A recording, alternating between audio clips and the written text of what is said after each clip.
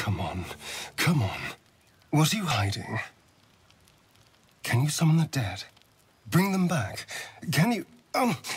Can you shut up and let me read? No. I won't kill them. Well, maybe Shadowheart.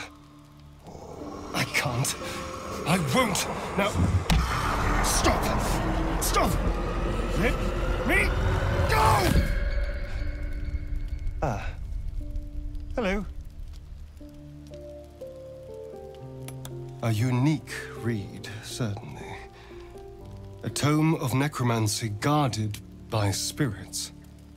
I almost reached the end before they drove me out. And drove me all but mad. Now, every time I open it, the voices surge back into my mind. I can't reason with them. They exist to protect that book.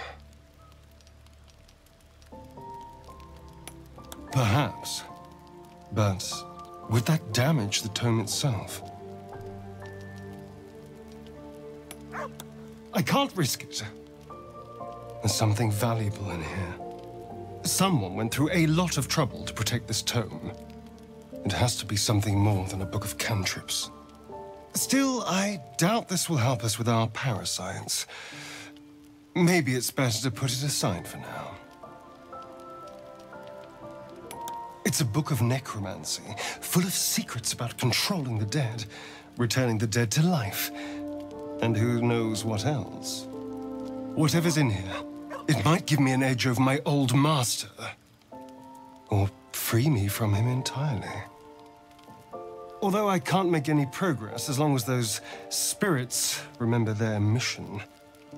It seems to be all they know. Still, if nothing else, maybe I can beat Cazador to death with it.